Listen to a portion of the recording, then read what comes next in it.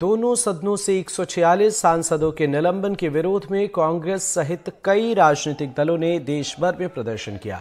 आज कांग्रेस कमेटी पन्ना की तरफ़ से विरोध में रैली निकालकर नारेबाजी की गई और कलेक्ट्रेट कार्यालय में हंगामा किया गया।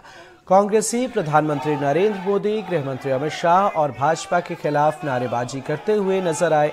इस दौरान कांग्रेसियों ने राष्ट्रपति के नाम ज्ञापन, पन्ना एसडीएम को सौंपकर निलंबित किए गए सांसदों की बहाली की मांग की।